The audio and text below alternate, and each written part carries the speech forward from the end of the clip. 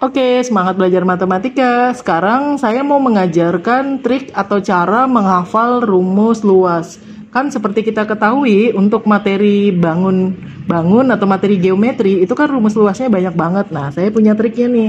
Mat trik ini biasanya saya ajarkan ke murid-murid offline saya. Oke, ini saya buat menjadi tiga tabel. Yang pertama itu bentuknya standar. Saya tulis dulu. Ini yang pertama bentuk standar. Yang kedua ini ujungnya lancip. Nah, yang terakhir ini yang harus hafal. Karena ini rumusnya beda sendiri. Oke, untuk yang bentuk standar apa aja? Dia itu terdiri dari persegi, kemudian persegi panjang, Oke, satu lagi jajaran genjang. Oke, pokoknya bentuknya segi empat deh kalau modelnya standar. Sekarang yang ujungnya lancip. Yang ujungnya lancip itu ada segitiga. Oke, kemudian ada layang-layang. Ini maaf ya kalau gambar agak meleot. Oke, habis layang-layang satu lagi belah ketupat. Oke, ini layang-layang saya kasih garis gini deh.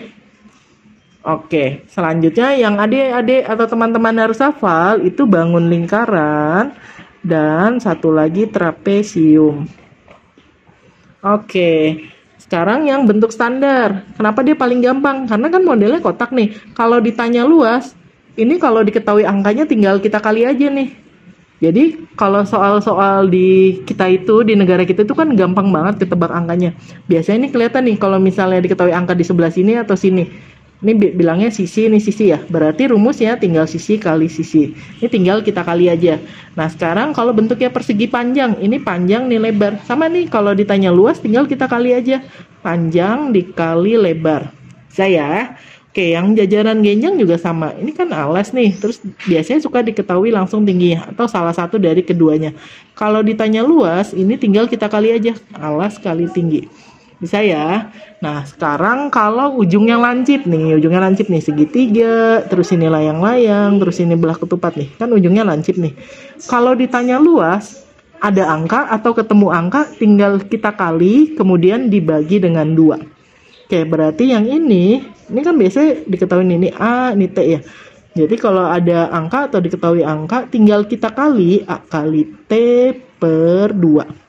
Bisa ya? Sekarang sama nih yang layang-layang kalau ditanya luas, kalau diketahui angka langsung kita kali. Biasanya dia bilangnya ini ke sini diagonal, ini ke sini diagonal juga. Tinggal kita kali aja D1 kali D2 per 2.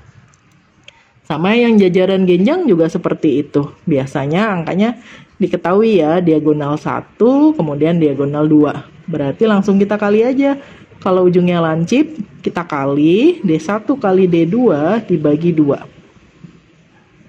Oke, sekarang yang teman-teman harus hafal yang model lingkaran dan trapesium karena ini rumusnya beda sendiri.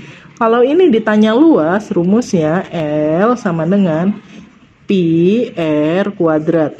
Oke, ini harus hafal karena rumusnya beda sendiri untuk dua bangun ini.